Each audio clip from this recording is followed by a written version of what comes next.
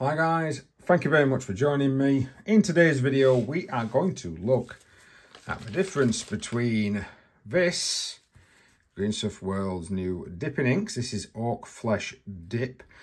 I had a quick conversation with one of the lads at the shop that we bought this from. Uh, we think that they've run out of copyrights uh, to try and figure out some form of contrast paint name. And of course, Orc Flesh contrast paint. Um, I'm going to, going to be doing a bit of a comparison. I'll have a look at some prices. This is, of course, made by Games Workshop. This is by the, I believe it's a Spanish company, uh, Green Stuff World, which, as you, if you've ever watched it really on this channel, you will know that we do a lot of uh, Green Stuff World uh, products on here because I, I, do really, really enjoy them. And it's nice to be able to have a store in the UK that is selling them. Right, so let's get on with a little bit of comparison review. So the first thing I'm going to look at really with these two guys here is the price difference. Now contrast, I'm doing this based on the prices from a friend's shop. This is Hobby Workshop. Get up to 25% of Warhammer, so their prices are a little bit different from standard Games Workshop RRP. Uh, but Citadel Colour, Contrast Orc Flesh, that at the time of recording goes for £3.68 uh, for 18 mil of product. Now, I've had this a little while. Uh, I got this when the contrast first came out and I've not actually gone through it yet. But I find that I'm, I'm still using a lot more of the older traditional techniques to be able to paint my models. This Green Stuff World Dipping Inks is £5 and 9 pence. Uh, but as you can see, this is 60 mil. This is considerably larger than the Games Workshop counterpart.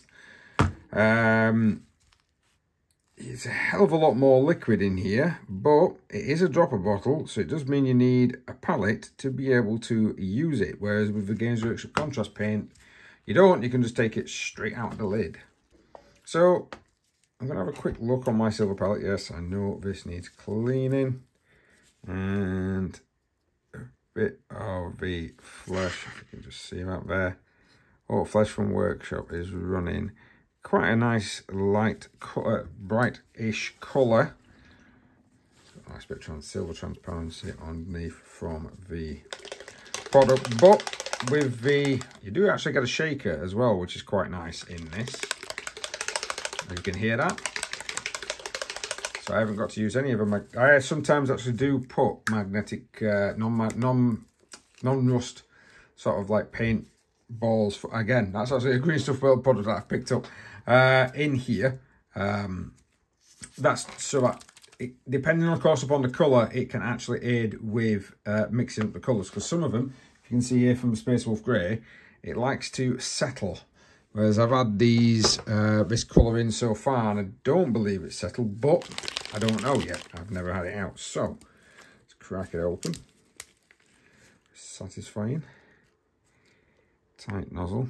And that looks like it runs a lot thicker. Uh, as you can see, I've had to put it into, try and get it side by side.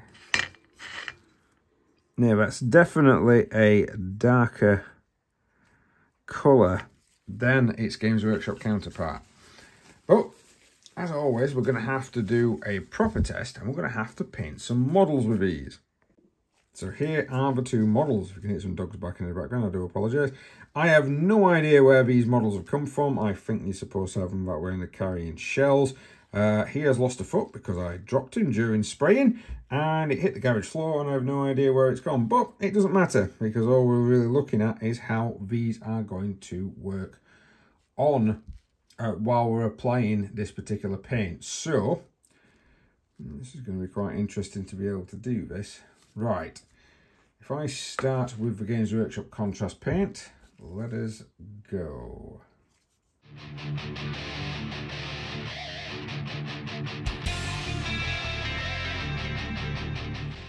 So while we're waiting for the Orc Flesh Wash to dry, let's get on with the Dipping Inks Orc Flesh.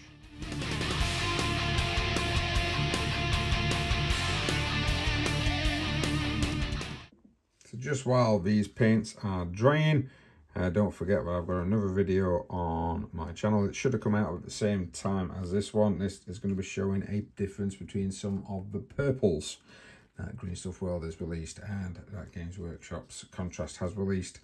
Uh, these are both drying nicely. Um, I think there's a lot more pooling from what I can see on the Green Stuff World model, which is this one in this hand.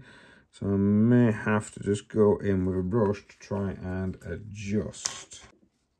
So when it comes to drying time, both of these particular products dried quite well uh, and they both dried roughly in the same length of time. Now, the this is the Orc Flesh. As you can see, there's a bit more tied in.